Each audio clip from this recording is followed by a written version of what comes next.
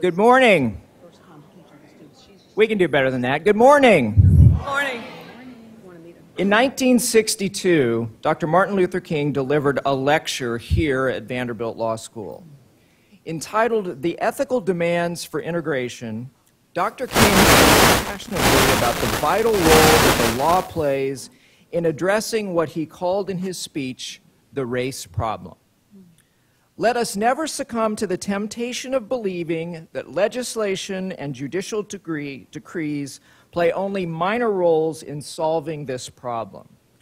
Morality cannot be legislated, but behavior can be regulated. Judicial decrees may not change the heart, but they can restrain the heartless. The habits, if not the hearts of people, have been and are being altered every day by legislative acts judicial decisions, and executive orders. At the same time, Dr. King observed that law has its limits.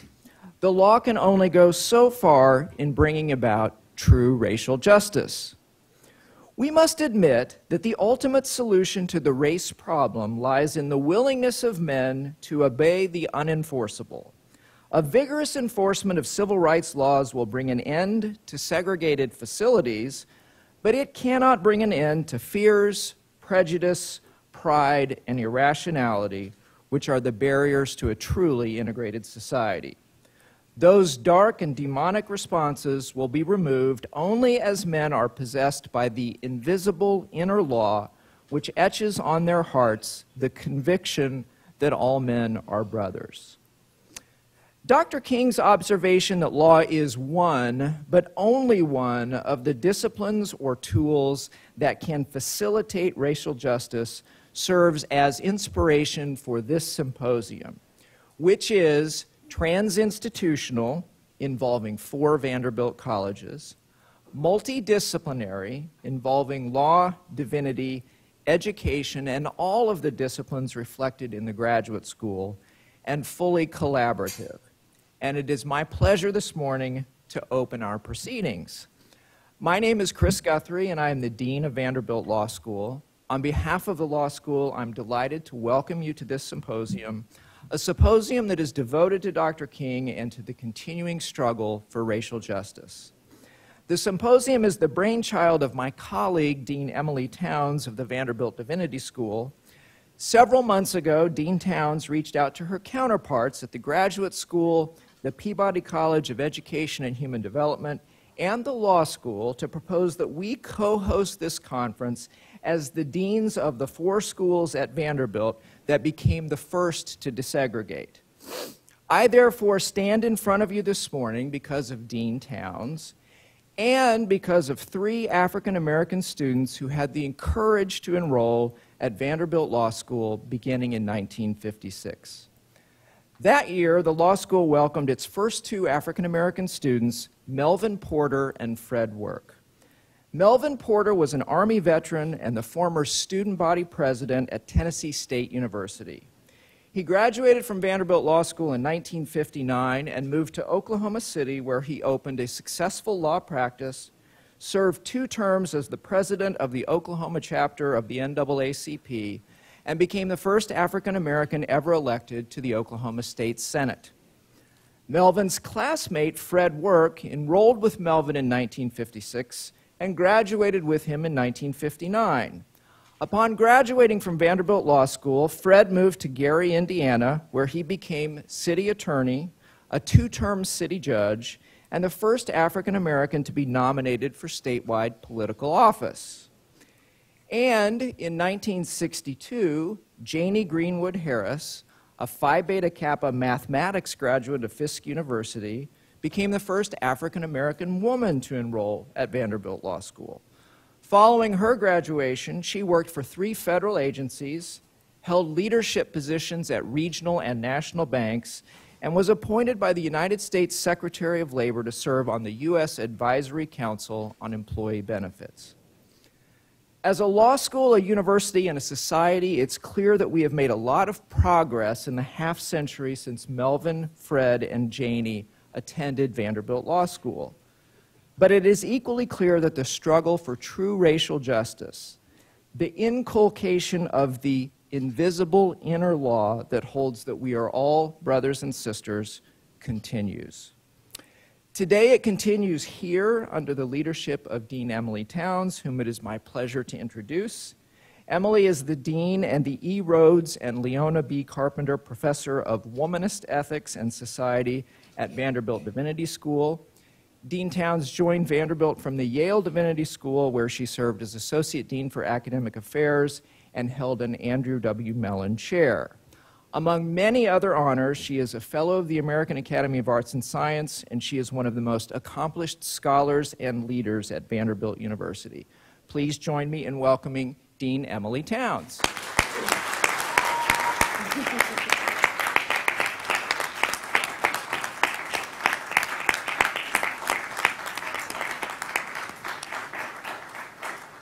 Thank you, Chris. I owe you a drink.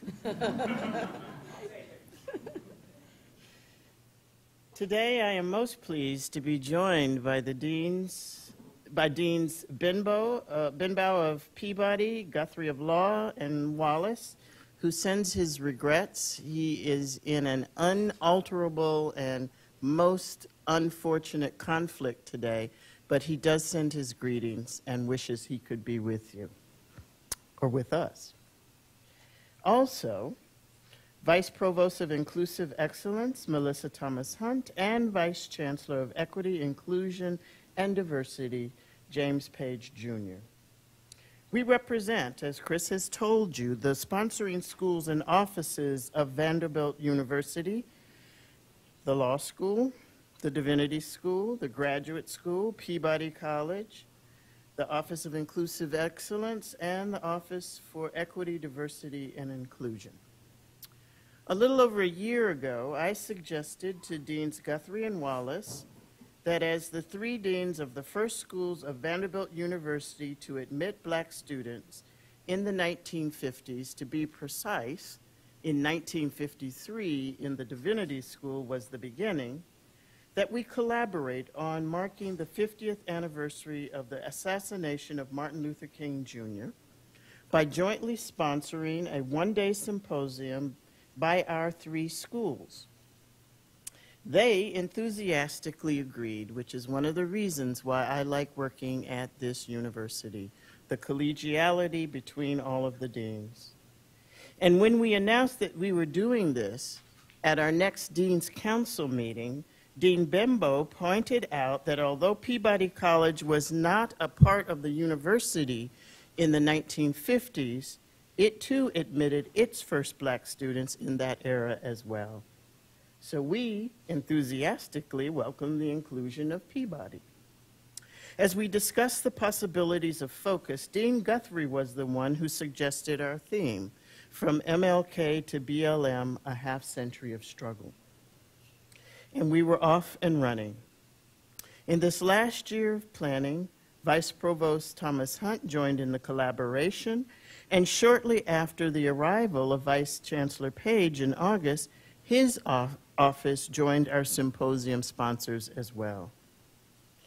Many folks have worked to put this symposium together, and I will name as many as I can, and if I leave you out, it's only because my memory is not good.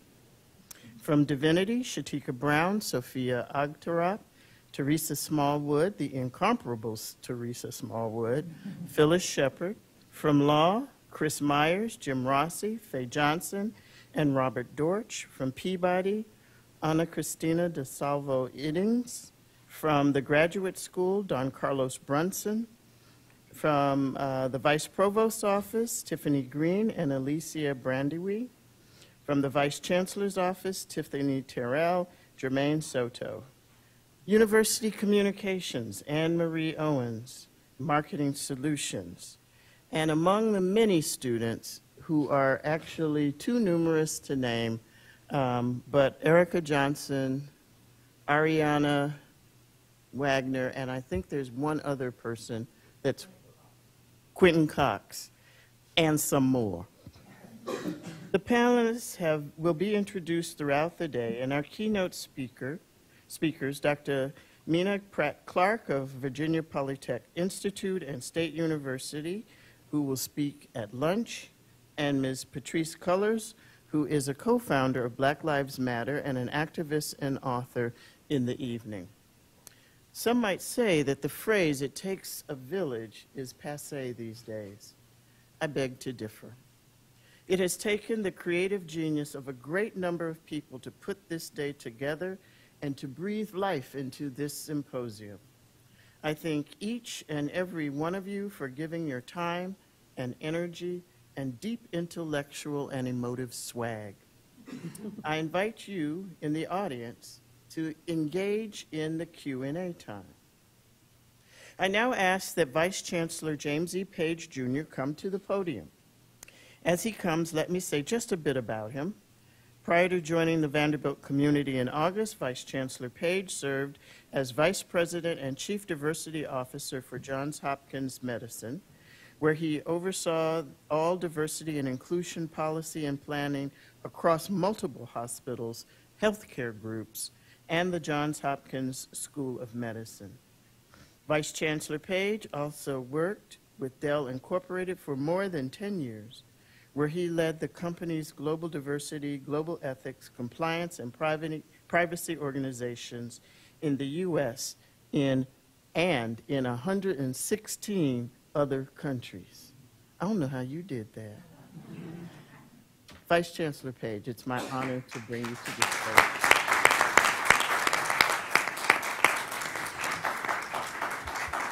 So I just wanted to take a moment to, uh, to say uh, uh, thank you for allowing my office to be a part of this uh, 50 years after Martin Luther King's um, uh, death. It's interesting because I was talking to some folks the other day about um, the importance of this moment and reflecting personally about my family and who I am and, and why I find this work so important. I was very fortunate. I grew up in a house, um, mom and dad were always there uh, raised in the uh, amazing city of Indianapolis, Indiana, but grew, uh, born in the, uh, the uh, Louisville, Kentucky, not too far from here. And we had one of those homes where um, grandma took care of everyone as they were aging. And uh, one of the fortunate um, ancestors that I had the fortune to um, constantly interact with in my grandmother's house was my great grandma, Grandma Mary.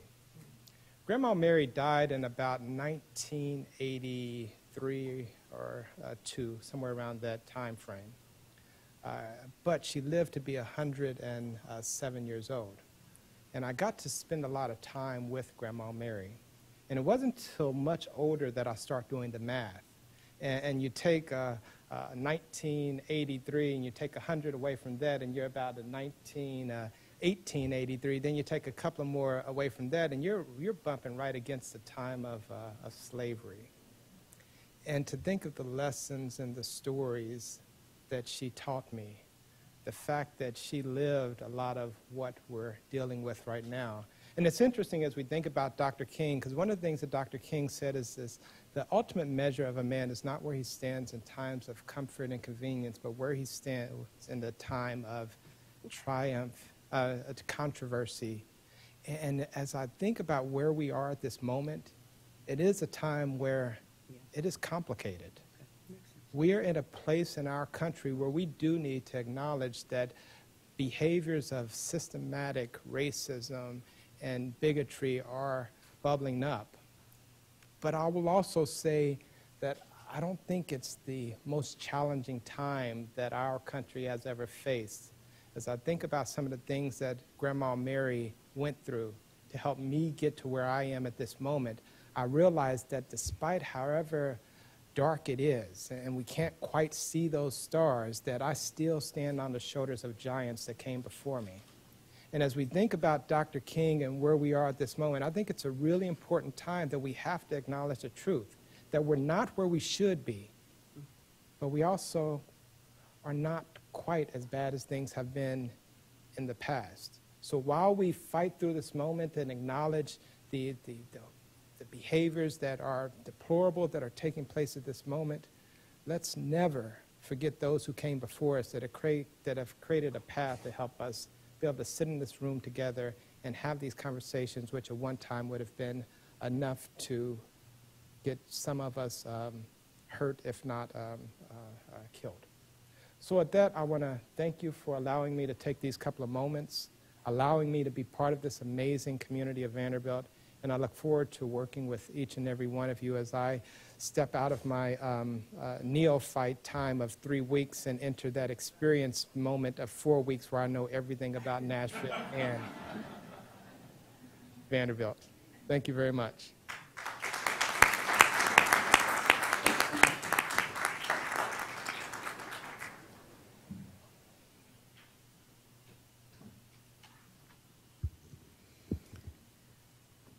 So we begin the panels. The first panel of the day is organized by the Divinity School.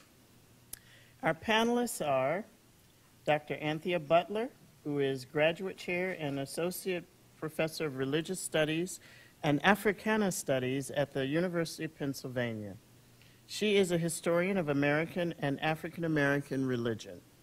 She's also author of Women in the Church of God in Christ, Making a Sanctified World. Dr. Vicki Crawford is director of the Office of the Morehouse College Martin Luther King Jr. Collection. She is a civil rights scholar and author of the groundbreaking Women in the Civil Rights Movement, Trailblazers and Torchbearers. Dr. Eddie S. Glaude Jr. is the William S. Todd Professor of Religion and African African American Studies and chair of the Department of African American Studies at Princeton University. His books include Democracy in Black How Race Still Enslaves the American Soul, and In a Shade of Blue Pragmatism and the Politics of Black America. Currently, Glaude is at work on a book about James Baldwin, tentatively titled James Baldwin's America, 1963 to 1972. And the Reverend Dr. Eboni Marshall Turman, who is Assistant Professor of Theology and African American Religion at Yale University Divinity School. She is a first career concert dancer whose first book is Toward a Womanist Ethic of Incarnation Black Bodies, the Black Church, and the Council of Chalcedon. She is currently working on two monographs, tentatively titled Black Women's Burden, Sexism, Violence, and the Black Church, and Loves the Spirit, the Womanist Theological Idea. The panelists have been asked to consider the public theology and racial justice implications of the death of Reverend Dr. Martin Luther King Jr. in the context of our current social and cultural situation, in which the racially charged deaths of blacks at the hands of police, quasi police, and other hate groups is voluminous. Specifically, how do we focus the discourse, the conversation, towards exposing the evils inherent in the systemic responses to those deaths to motivate participants to envision new strategies for eradicating racial injustice, illuminated by the life and legacy of Reverend Dr. Martin Luther King Jr. They have been asked, pleaded to, and I will be the timekeeper for, to keep their remarks to 10 minutes, knowing they will get more time later. I will be a benign dictator, but I will dictate. Knowing the panelists, I think they have decided what order they're going to go in. So I'm going to leave them alone on that. And I believe it's, uh, Vicki, are you? Yeah, I think it's me. Thank you. Let us begin. Okay, good morning. Can everybody hear me well? Okay, thank you, Dean Townes. This is a wonderful opportunity to be here at Vanderbilt and uh, to meet you. Uh, your work has been so very important to me uh, in my study of African American women's lives, so I thank you for the opportunity to be here. Recently, I had an opportunity to visit the National Memorial for Peace and Justice in Montgomery, Alabama, and also the Legacy Museum uh, that's titled From the Black Experience from Enslavement to Mass Incarceration. I don't know if any of you have uh, visited the museum uh, in Montgomery, uh, but, uh, and the founder of the museum is Bryan Stevenson of the Equal Justice Initiative. And while I was very familiar with this history and the history of lynching and Jim Crow and segregation uh, as a civil rights scholar, I was not quite prepared for the palpable experience of visualizing all of these many names and list of names of people, children and women and men who had been lynched and tortured um, from the period after Reconstruction through 1950, over 4,000, I think, um, you know, the EJI has documented, as well as Tuskegee University, over, over 4,000 lynchings in this country. And these, of course, are the lynchings that we, we know about. Uh, so to visualize those names and to see the names of entire families and communities uh, listed by county, uh, listed by state, and not just in the South, uh, but in the South, in the Midwest, in the North, it's, it's really compelling. Uh, and it really has me thinking a lot about history and memory uh, and the power of, of, of this, this, this um, history and how we have to remember.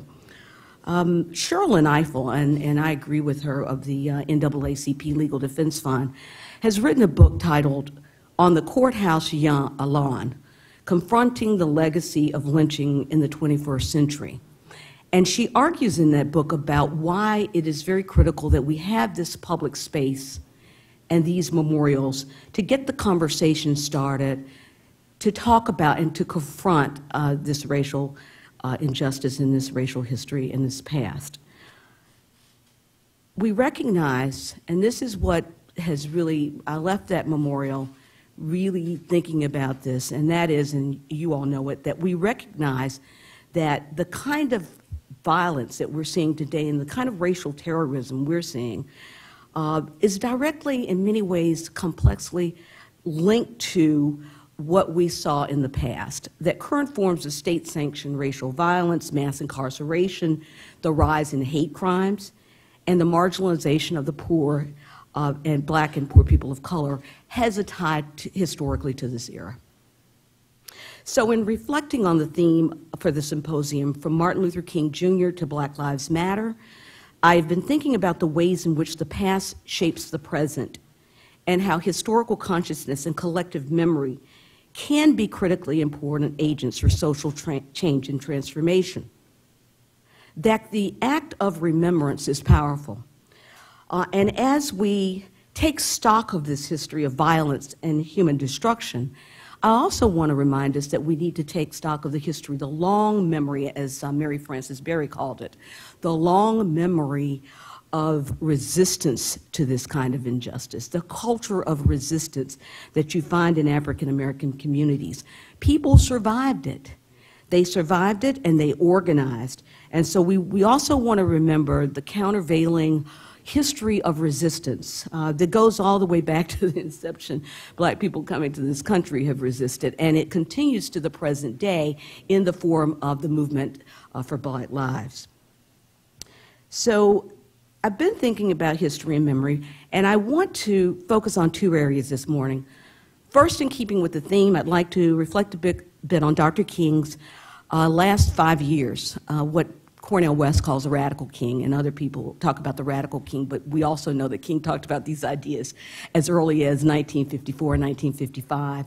Uh, but I want to reflect on his last years, and in particular to talk a bit about his last book, Where Do We Go From Here? Chaos or Community, a powerful title, open question, one that still resonates with us today. I want to talk about that last book, published in 1967 during his lifetime uh, and in particular, I want to look at the last chapter of that book titled The World House. Uh, and in that chapter, King talks about this concept of a world house. And I want to dwell on that just a bit uh, in the first part of what I want to say today. And I want to consider, secondly, the relevance of that concept for us in today's time. All right?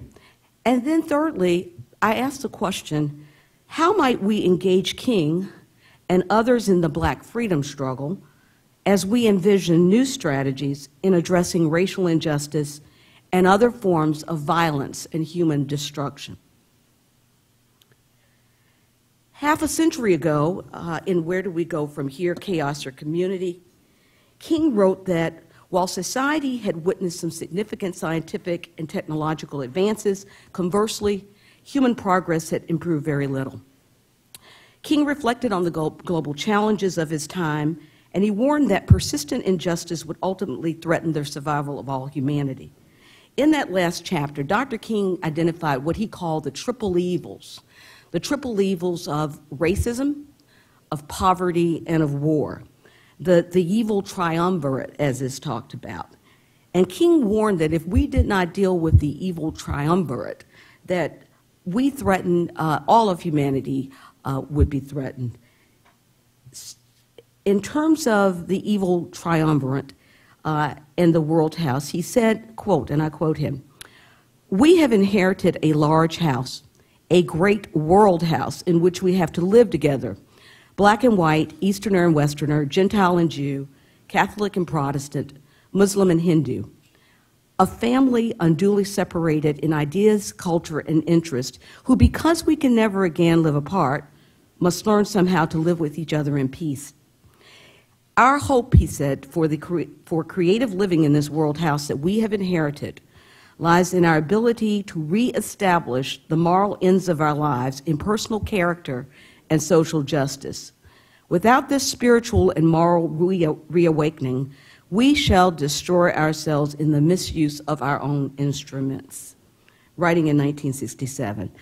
In terms of racism, he clarified that racism is not just an American phenomenon, that it is a global problem, and he spoke about that again as early as 1955, making those connections. He was particularly interested in what was going on um, in Asia, in Africa um, during that time. Uh, he talked about poverty. Uh, he elaborated that he could, we, we had to uh, find an end to poverty that there's no reason in the world why we, the people, uh, should be without food and without um, the ability um, to, to have sustenance. And that if we fail to do that, that would be another detriment uh, in terms of realization of the World House. And finally, he talked about militarism. Uh, and we can talk about that in today's time, uh, how we had to find an end to war, the war was obsolete.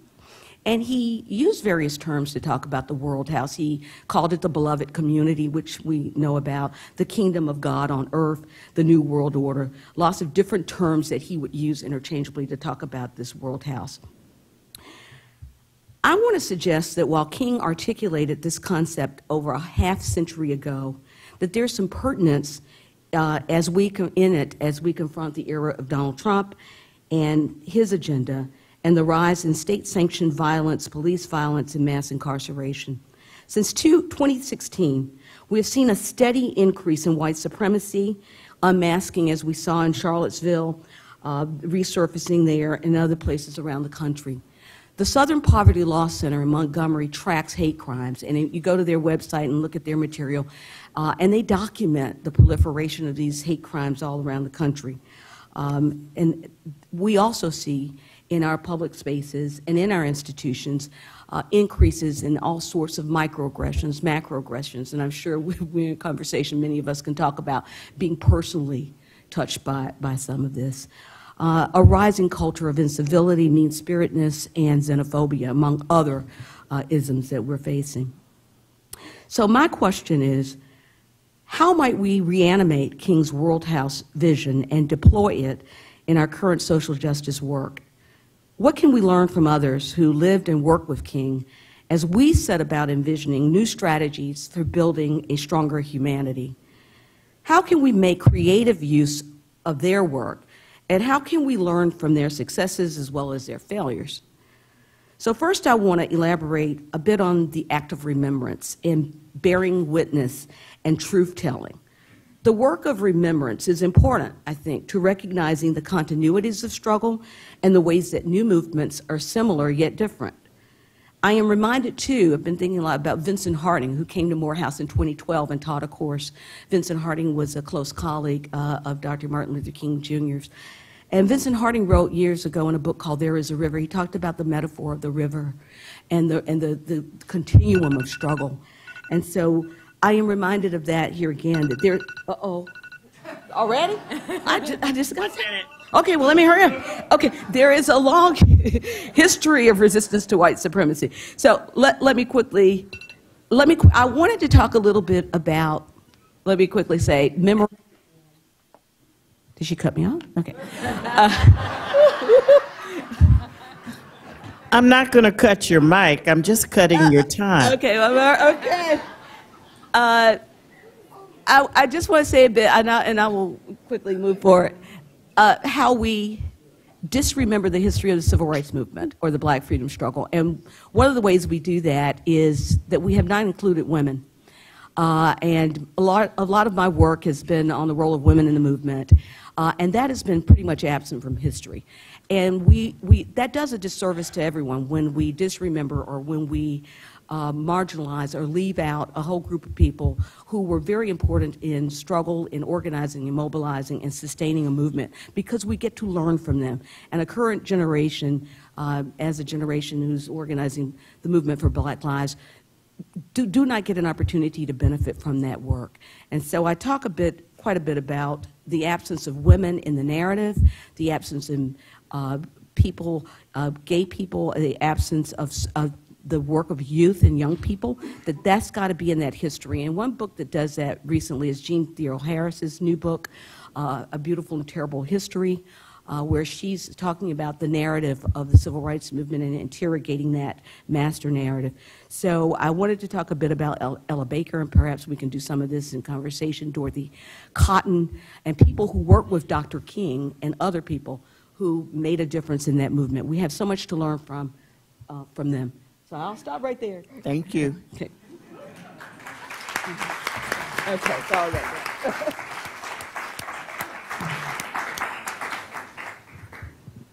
Thank you, Dean Townes, um, for the invitation to participate in such a significant conversation.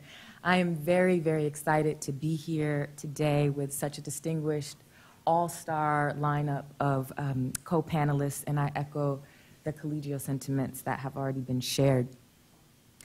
It's very interesting for me uh, to think about the ways in which the 2018 50-year commemoration of the assassination of the Reverend Dr. Martin Luther King Jr. is genealogically positioned in relation to the 2019 400th anniversary of the arrival of 19 kidnapped black Africans to the Virginia shore, namely the Jamestown settlement, which, though many of us forget or perhaps never knew, was an Anglican colony Although estranged by approximately 350 years, the proximity of these two memorials is traced along one fault line, namely Black death. And in commemorating both historical moments within the span of two consecutive years, it's clear that neither event can be read completely outside of the other. The physical, spiritual, geographic, environmental extinguishing of Black life is not only the result of the theological centering of the European and the necessary displacement of non European others, as systematic theologian Willie Jennings advances in his Christian uh, imagination, theology, and the origins of race, but also and equally important as the result of social and ethnological myth making that is always working in tandem with the theological.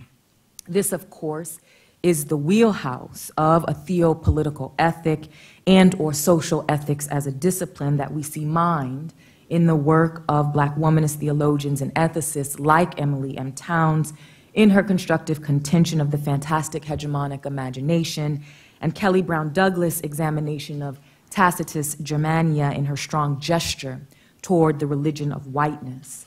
The religion of whiteness casts very simply white men as God. I should say white um, uh, heterosexual in public men as God, white women as the brides of Christ, and white children as their cherubim. This distortion of the gospel has colored our civil engagement. It is a theology of the state that codes all that is white and approximates whiteness as honorable and blackness as dishonorable in ways that compel the incessant persistence of black death grounded in the chauvinistic particularity of the American mythos. When I consider the meaning of King's assassination for the task of public theology today, it is Black death that rises to the top for me. But it's important to note that Black faith, uh, in its prophetic and compensatory uh, manifestations, has always had to wrestle with this. This is nothing new. Intercommunally, Blackness often supersedes gender, class, and sexual social indicators, and I'll return to this problematic in just a few moments. But echoing James Cone's final meditations on this movement, this moment rather, in the movement for black lives. Suffice it to say for now that black blood is the connective strand across the multiple registers of blacknesses male, female, trans, non binary, gay, straight, bi, polytheist, non theist. This is the blood, all of this blood is disproportionately crying out from the ground um, to the black public theologian.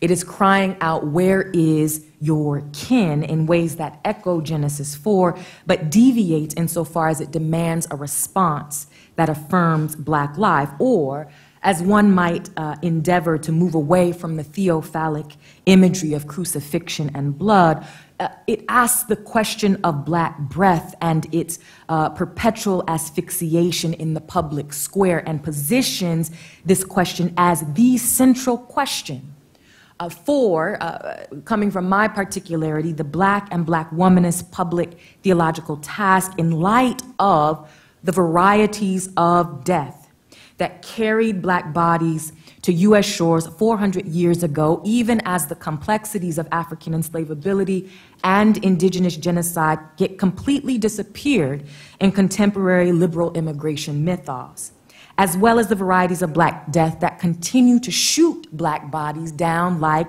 as West would say, dogs, not only in the street, but as we have seen in the past couple of weeks, the past couple of months, and the past couple of years, in their homes and churches, regardless of black adjacency to white respectability and even while, and still holding Black Death or the Black Dead responsible for their own demise. The task of the public theologian today is to articulate, confront, and resist the many forms of Black death, as well as the God and gods of whiteness, and to profess, not just imagine, a Black Christ who's not only on the side of the oppressed, who not only dwells with them, but who is in their very bodies. The oppressed body is God's body, and God's body is the oppressed body. Not in the theotic sense that makes gods of the oppressed, but in the phenomenological sense of God being there in flesh. And the praxeological implication of that there-ness for those of us who claim to live in celebration of an empty tomb right? Because you cannot get there to Easter, as in Hezekiah Walker's When We All Get There, when we get over there, without first attending to the crucified bodies and their concomitant descent into hell right here. This vision of the oppressed body as God's body is the womanist liberationist fundament for gospel aligned Christian theological justice making practice, and proclamation. In this moment, when outright lies, racism, misogyny, narcissism, greed, ruthlessness, self centeredness, name calling, punitive retaliative mechanisms, and braggadocious self suprematist motifs. I am legion, for I am many, illustrative of the highest low down office in our nation right now. In light of all this, it's really hard work. And in positioning myself to consider uh, new strategies for the eradication of racial injustice on the one hand, my immediate and honest response is I do not know how to get white people to stop killing black people, period. I don't know. I mean, blacks have tried everything, and whites who are aligned with blacks as freedom fighters and accomplices. We have tried everything from theological arguments to moral ethical arguments to scientific arguments to outright rebellion, nonviolence, repatriation, legislative measures, marching, sitting in, dying in, kneeling in, not to mention just plain old prayer, hymn singing, and fasting. I think the question of new strategies for eradicating racial injustice, if not properly deployed, can be unfair. It can be short sighted. Uh, it can lay the onus of racial justice making at the feet of black people. And I'm frankly tired of blacks having to clean up white messes. It is a black domestic lie.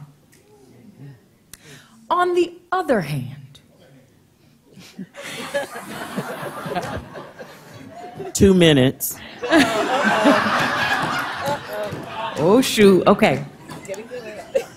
On the other hand, I could offer some responses um, that are for sure useful, right, um, as it relates to eradicating, working to fight against racial injustice. Um, for instance, voting, right? Or as uh, Dr. Crawford has pointed out, um, the um, um, the critical significance of intersectionality for the work of justice making. And of course, in making such an assertion, uh, I have to account for black feminist counter arguments like that of Jennifer Nash that contends that intersectionality is actually not a useful project at all, or even the work of black womanist theological ethicist Keri Day, who presses up against the boundaries of or the limits of intersectionality toward the usefulness of assemblage in the queer theory of Jasbir Puar, emphasizing the fluidity of identities that uh, that uh, cannot find continuity solely based on structural injury and or materiality. I don't buy either of their arguments wholesale. But in my comments uh, above regarding blackness intercommunally superseding other social indicators like gender, class, sexuality, ability, and so on, there is a way in which intersectionality allows, if nothing else, for us to think about the ways that oppressions very simply are interconnected and that we really cannot be liberated from the one unless we are liberated from them all. And even though we know that Dr. King's final campaign in Memphis uh, was inspired, and several others along the way, uh, for sure, was inspired by, for instance, the black women at the Scripto Pen Factory, black women factory workers in Atlanta who were on strike for higher wages and who helped crystallize for King the need to connect the demands of labor and civil rights that would become the catalyst for his Poor People's Campaign for Economic Justice that led him to Memphis in the first place. Not to mention, for instance, Maxine Smith and Laurie Sugarmon, the women whose club work mobilized the Memphis NAACP to be the largest in the South at the time of the Memphis strikes. Or even uh, Gladys Carpenter, the veteran marcher uh, who, whose cry, he runned over my foot, uh, when she was assaulted by a cop car, prompted the first direct acts of police retaliation against the Memphis movement that would propel King um, uh, further down his uh, road toward room 306 in the Lorraine Motel. Um, this is part of the stratagem of the black of black social gospelers that completely um, that they completely flunked. That is uh, uh, leaving the women out right? Uh, black social gospelers completely got this wrong and they continue to flunk it contemporarily. There is something meaningful about thinking about how race and gender and class and sexual oppressions are linked and can only be effectively eradicated when we are fighting for them all. Um, I could say more here about social media and its use for virtue, you know, its use for mass and lightning speed mobilization. Uh. But I'm going to finish with this. the most important question for me, very quickly, Dr. Townes, is not so much what we can do um, to fight racial injustice. As I said, we've been doing it. We have to continue doing it. The most important question for me is how do we approximate living fully now among the mess? Mm. How do we hold on to joy, love, hope, and, and, and, and, and ourselves in defiance of the pessimism that demands the new millennial death of our God who is black? Thank you.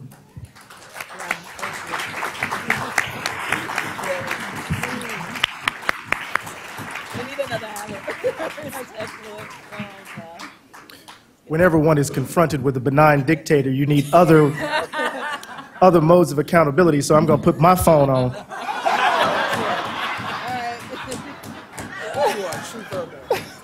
That's called networking. I want to thank Dr. Townes and everyone who made this possible. Um, really honored to be on this panel. Uh, so I'm going to just jump into it because my time is limited. Um, in his last book, Where Do We Go From Here? Chaos or Community, Dr. Crawford referenced this earlier. Dr. King argued, among other things, that white supremacy stood in the way of democracy in this country, that it was an ever present force in America frustrating the dreams of the nation's darker citizens and undermining any, any pretense to racial justice. He wrote, quote, Negroes have proceeded from a premise that equality means what it says, and they have hmm. taken white Americans at their word when they talk of it as an objective.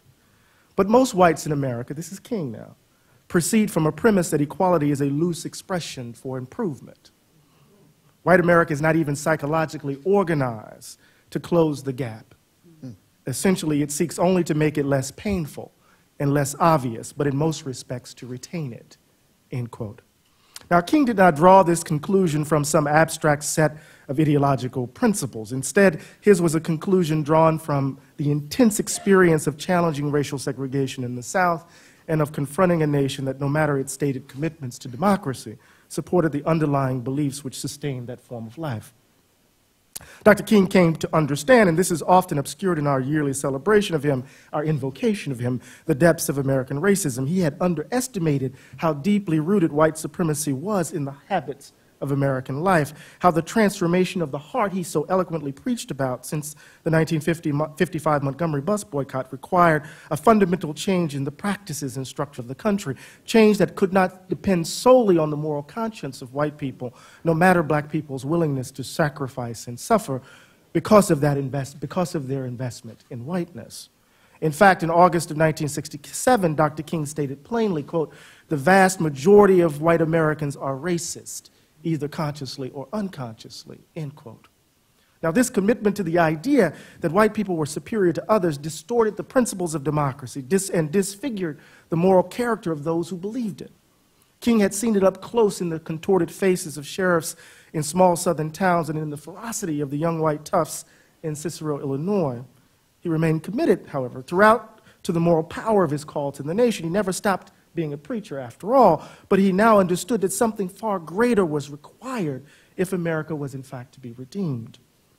Now, I've spent a lot of time thinking about this passage from Where Do We Go From Here? In some ways, King's formulation hinges on a devastating judgment about our national commitment to racial justice. He claimed that the country viewed the idea of racial equality as a loose expression for improvement. When thought of in this way, racial justice gets reduced to a charitable enterprise a philanthropic practice by which white people do good for black people. Mm. For him and for me, that is not equality. Who are you to give me freedom? I don't understand. In fact, such an approach reflects the underlying problematic that haunts the nation in matters of race. Just think about it. Here we are in 2018, and we're confronting a wide range of protests and, and the reality of police brutality, particularly against black and brown people while walking black, driving black, sitting in your own apartment while black right?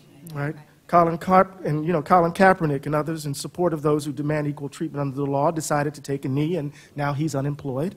Um, and now, before the horrors of Las Vegas and the devastation of Hurricane Maria, we want to invoke that in this moment. Uh, in Puerto Rico and the U.S. Virgin Islands, President Trump at a campaign rally in Alabama, you remember, took issue with the protest in the NFL and, and with passion urged the NFL owners to fire the SOBs. Now, bracketing where you might stand on the question of protest during the national anthem, what was fascinating and horrifying all at once was the response among some of Trump's supporters. Joe Walsh, the former congressman, declared that the rich football players were ungrateful. And this sentiment was echoed across social media platforms. This idea of gratitude is striking here. It reveals that for some, particularly some white people, folk, the success of black NFL players had little to do with their talent and dedication to their profession, that they haven't worked tirelessly to reach the highest level of the sport. Instead, they should be grateful for the opportunity to play. This idea of gratefulness extends to black students on college campuses. You know this at here at Vanderbilt, right? We heard this in response to Princeton students protesting the name of Woodrow Wilson, the Woodrow Wilson School of Public Policy to various workspaces black people occupy. I hear it all the time. I should be grateful to be here at Princeton, right? Just to give you a sense of how odd this formulation is, imagine someone saying to a hedge fund manager on Wall Street, you should be grateful that you're allowed to make all that money. Right? It's a formulation reserved for certain kinds of folks. Now, this example, these examples illustrate that the, the truth of King's insight, that the truth of King's insight in 1967 still obtains all of these years later. For many, for many white Americans, the idea, of racial, the racial, the uh, idea of racial equality is understood as a form of charity, something to be given away. Now, what this philanthropic approach reveals is something more fundamental. Remember, Dr. King referred to a gap that white people are not psychologically organized to close. Now, I want to suggest that here King refers to the fundamental problem at the heart of our national malaise, what I call the value gap, a belief that white people matter more a belief that adjusts and adapts to different material conditions. But the value gap cannot be thought of as simply the product of loud races, folks who are shouting the N word or saying Mexicans should go back to Mexico, right? That again is too easy. It is too easy to condemn the white nationalists and neo Nazis in Charlottesville without understanding how our daily choices and actions, the habits that guide us, give them life. The value gap is not about loud races. It cuts much deeper. All Americans are shaped by biases, stereotypes, and the history of racism in this country that incline us to treat certain people in certain ways. We are shaped by what I call racial habits, and those habits shape not only our lives and personal choices, but the policies we create that reinforce the value gap. And any of you who've read Aristotle, you know habit talk is character talk.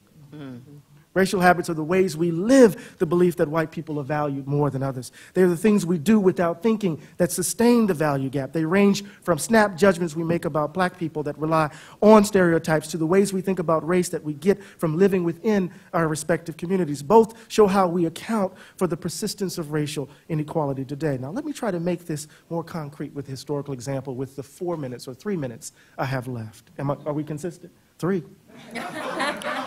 On April 14, 1876, at the unveiling of the Freedmen's Monument in Lincoln Park, Washington, D.C., Frederick Douglass delivered his oration in memory of Abraham Lincoln. And I was struck by a particular passage. Let me read it to you.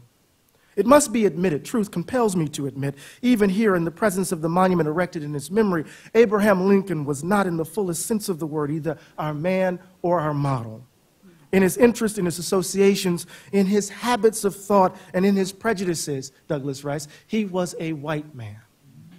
He was preeminently the white man's president, entirely devoted to the welfare of white men. First and last, you and yours were the object of his deepest affection and his most earnest solicitude. You are the children of Abraham Lincoln. We are at best his stepchildren. Children by adoption, children by forces of circumstances and necessity, right? End quote. James Baldwin will pick this up later on, right? Douglass acknowledges the exalted place of Lincoln in the history of the nation, but makes explicit the limits of his character, that his commitment to the belief that white people mattered more than others distorted his moral vision and blocked the way to the attainment of the kinds of excellences his ideal of democracy required. This belief that white people mattered more, what is the value gap, what I call the value gap, rests at the heart of this nation and confounds us at every turn. James Baldwin wrote, America sometimes resembles an exceedingly monotonous minstrel show. The same dances, the same music, the same jokes. One has done it for so long or been the show for so long that one could do it in one sleep, end quote. Here in 1876, Frederick Douglass exposed the insidious work of the value gap. And here we are in 2018, and we continue to confront how it deforms our characters and our democracy. In other words, Douglass was saying to Lincoln, You can't even become the kind of man that your conception of democracy requires precisely because you're so invested in whiteness. Hmm? And so when Black Lives Matter says Black Lives Matter, we know that. We're not talking about us. We're actually saying that white lives don't matter as much, right? They don't matter more, right? And so part of the work of our, of our contemporary moment, and I'm coming to a close, is that we can read the Black Lives Matter movement as the latest instantiation of an attempt to address the value gap and the habits that give it life. And if we're going to become the kind of country that's committed to democracy, we have to become the kinds of people that democracy requires. And that's going to require something that Dr. King realized uh, on the day that he was murdered, or before. Right. I'm done.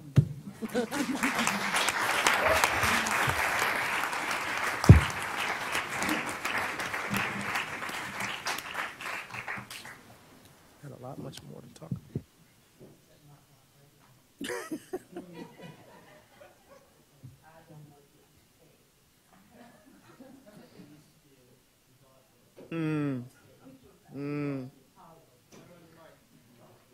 Oh, There we go, okay.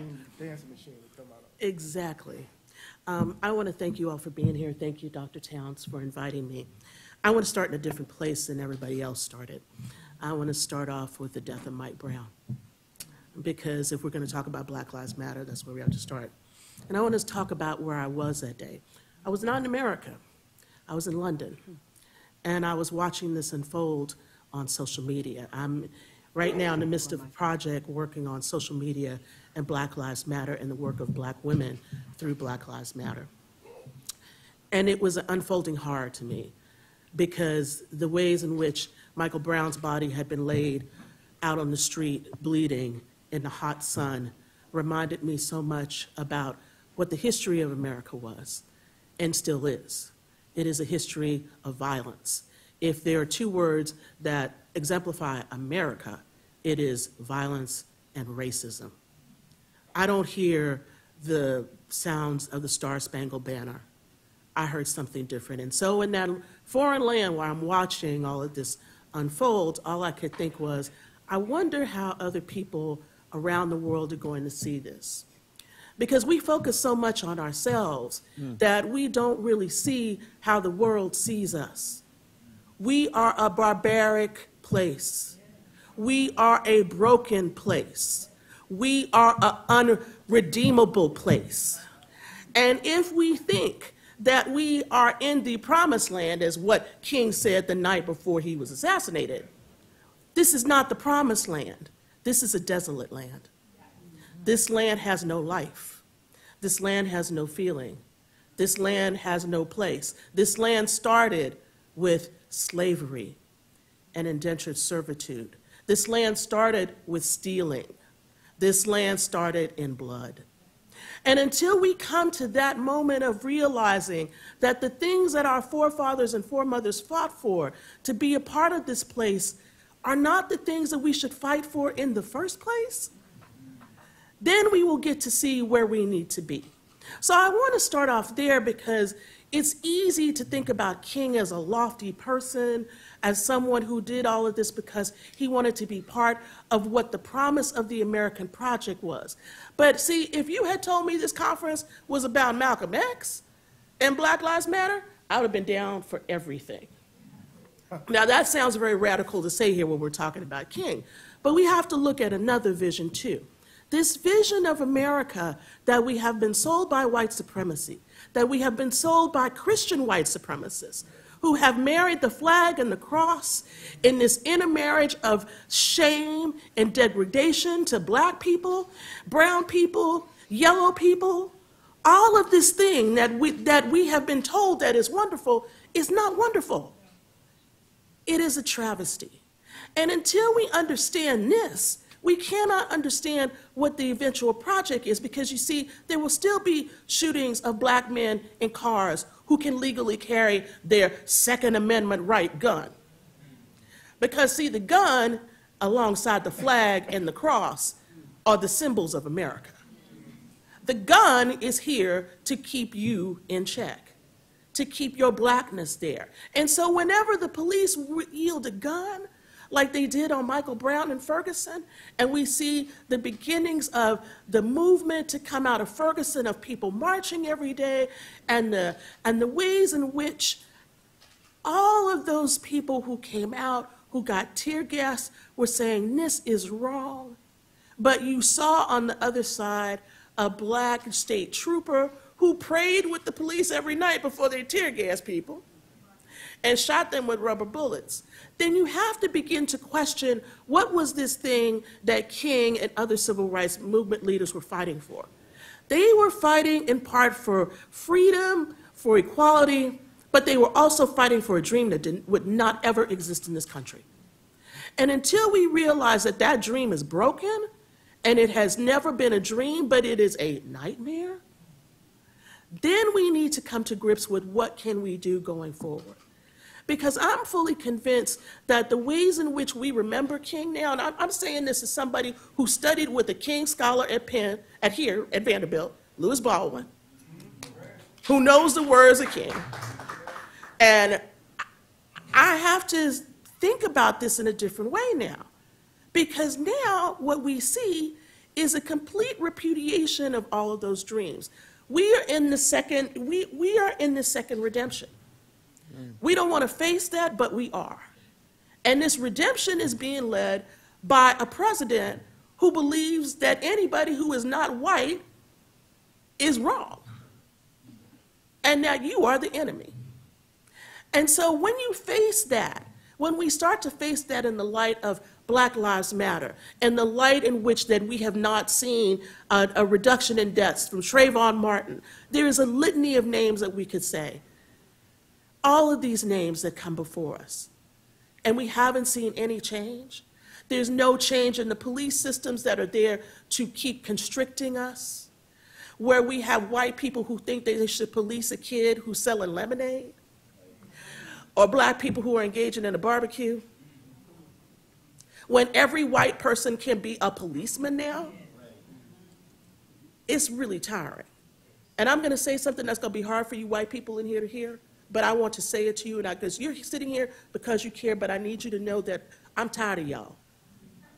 I need you to hear that because we don't want to fight for this thing anymore. Why should, you know, I came in here thinking maybe the first thing I should do is, as a question to you about this is maybe we should just leave because I think about it every day.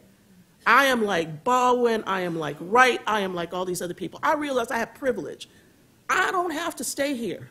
I don't want to stay here with you because I don't know if this is worth fighting for.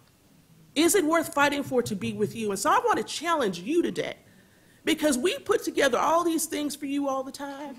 It's really great. You come out feeling good in your liberal self. But like Thomas Merton said, liberals are the worst people for civil rights because you continue to inculcate those same things that have been inscribed upon us. And so, what I want to leave you with today is, is that it's not simply enough to think about the legacy of King and what is going on with Black Lives Matter. The problem is, and the question is that you are left with is, is this worth fighting for?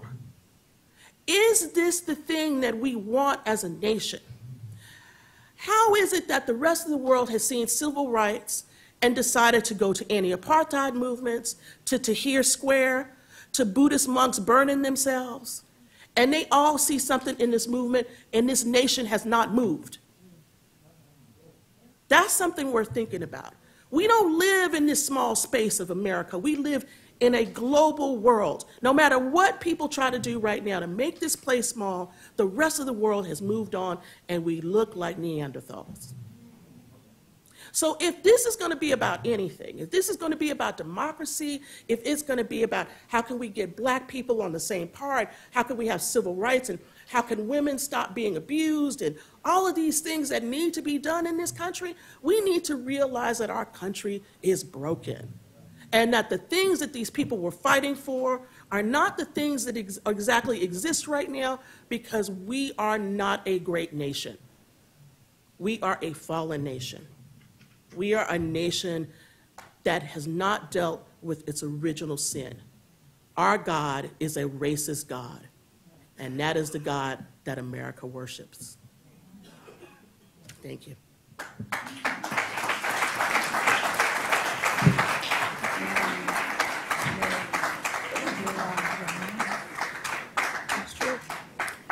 We are actually at time for this session, but I want to take convener's privilege and say um, we will continue for another five minutes with any Q&A that you have from the audience.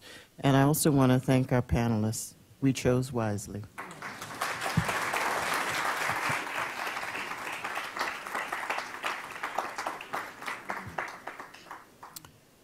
Any questions?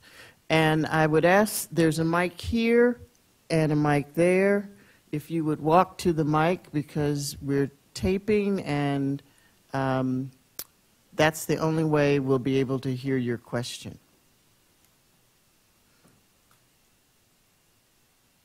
Go ahead. We can pass them out as well if someone should okay. stay at their seat.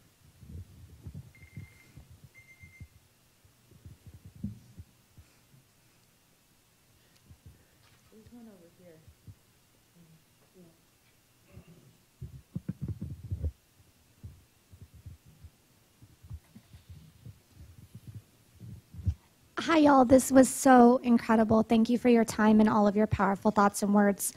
I'm from the southern border along uh, the U.S. and Mexico, the Rio Grande Valley, and we've been dealing with a really intense period of violence against Mexican immigrant and migrant bodies, mainly by way of child separation and the internment of children migrants in essentially concentration camps. I'm curious as to, in the intellectual spheres that you all inhabit, what is the dialogue around this injustice that's coming up against brown bodies, specifically the child separation? And how does that fit into the grand arc of the fight for civil rights that we've been discussing this morning, in your opinion? In my opinion, um, I don't think my colleagues have done enough, to be honest. I mean, I think this is a conversation that we have had in various ways, and since this has been very new and a lot of this rolled out during the summer, it remains to be seen how this works. I mean, there are a lot of people who've been out in the press right now. I think one of the things for me in terms of religion is I'm really appalled from my personal tradition of the Catholic Church that I have not had bishops out there laying themselves out in front of these places every day. I think that the religious response has been horrific. And that is, is problematic for me. I, I think that when I say America is not great, this is one of the things I'm talking about. Because we don't want to deal with the fact that we have internment camps for people right now that we have internment camps that exist in states like Texas. This morning on the news, there was just Arizona who said they're closing up all these places because there have been child molestations there. This, this is untenable and unconscionable. And one of the things I think is really interesting for me, and I, you know, apologize because I realize everybody has a place in what we can do. Some of us can be in the streets, some of us can do other things, and I'll close really quickly, is that I wrote about this summer about the issue of dissent and protest. And I, you know, referenced my colleague's book about this. And I said, you know, one of the things that we don't want to do is give up our bodies. And I think one of the lessons of the civil rights movement is that people gave up their bodies in service of the movement. And that we have been so concerned with the killing of black bodies right now that we also forget that there were people who were willing to give up their bodies and their lives for that. And I wonder if we don't need to get back to that again. It's really important to see that the, the current immigration policy is really bound up with a certain kind of crisis in whiteness. Uh, there, there, there is the reality of the demographic shifts that are taking place in the country that, that have, in fact, happened. Um, and immigration policy is driven, I think, in very clear ways uh, by uh, a deep seated anxiety uh, around the role of whiteness. In fact, they made it very explicit. Trump made it explicit about immigration in Europe, and then he came back and made it explicit here in the U.S.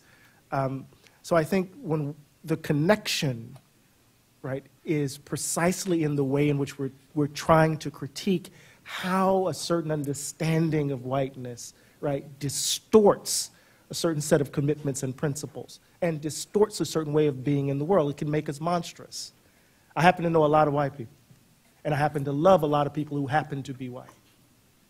It's a distinction that Baldwin makes that I want to kind of sit down and at some point, right? And so there are these moments of, of, of connection as we see, um, in some ways, the last gasp, at least this instance, in this instance, of a certain kind of white supremacy, perhaps. Uh, and I also want to just emphasize, I think this goes to much of what Dr. Butler has offered this morning. Um, I want to emphasize that we ought not be shocked by what's happening at the border. I mean, what has been done, um, most especially within the context to your question of um, African American religious studies, broadly speaking, is um, is, is this uh, mining of memory as well as truth telling and our telling this story of the ways in which children have been separated from their parents and families, the ways in which children have been um, uh, held in camps, in uh, the ways in which our children continue, continue to be held within the plantation economies of the prison industrial complex. We have been telling this story. This has been happening. And so I think how we move forward is to, to what I stated. So, so this is, so, so we can't cover that up. I say, oh, well, what are you saying about what's happening at the border? We've been trying to tell y'all about what's been, what's been happening in borderlands across this nation. So what, what we ought to do, how we ought to be thinking about moving forward is, I think, um, right on target with the idea of assemblage, with the idea of intersectionality. How do we bring our stories together to tell a story about the oppression of non-white bodies in this country so that we can build a strategy for resistance together? rather than being distanced from one another based on pigmentocratic politics that want to position us uh, in opposition to each other, black and brown bodies, based on who is closer to whiteness. Because um, anti blackness is a reality in brown communities too. And so, Trayvon, right. And so, so I think that, um, I think that African American religionists, broadly speaking, have been speaking to this. We've been telling this story. We've been trying to get people to listen, and we're going to keep telling this story. I'd ask us to thank the panel once again.